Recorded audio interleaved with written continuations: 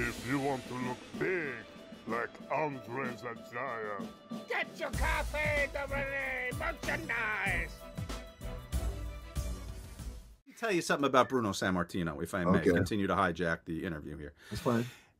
Please. The most honorable human being that I ever had to deal with. Really? And I guess because you're Bruno, you can do this. I had Bruno booked to do an episode of of uh, Timeline, the history of WWE. He was going to cover the '60s.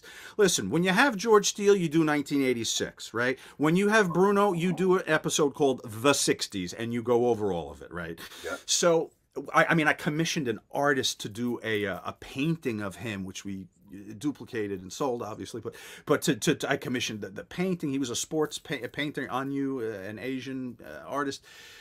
We have this whole thing for Bruno. They eat up too much of his time at the autograph signing beforehand. We're not going to have time to shoot it. I'm like Bruno, and so he says to me, he goes, "Listen, I have a friend has a studio in Pittsburgh. You come out there, we'd shoot it there, and blah blah blah." Shook my hand. Two weeks after that, now I knew this was coming, and and I was much more nervous than everybody else because I knew Paul was flying out there at Triple H, not London, to uh, have a meeting about the Hall of Fame. So I knew there was a chance he'd be able to do nothing very Right. soon Right. for several years. yeah. So it happens. They make the announcement. Bruno's in Connecticut. This is a true story. Bruno's in Connecticut.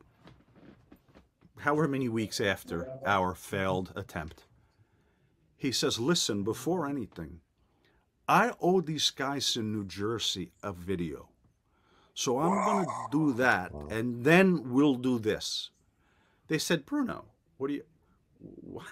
How? So Bruno calls me. He tells me this whole story.